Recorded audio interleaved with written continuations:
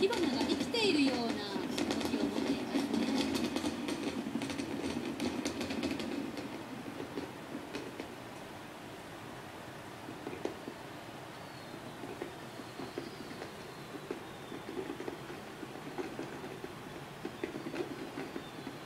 これが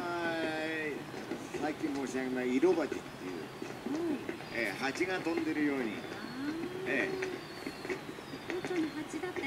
緑のものは私、ホルに見えますね。昔はあの蜂も銀鉢っていうようなのはし主流だったんですが最近はこういう色のついた蜂が多くなっていろんな色の蜂が飛んでいます。るそうですねわ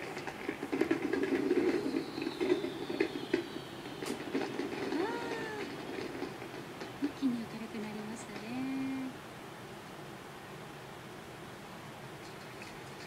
こうキノコがゆっくりと余韻を残すところ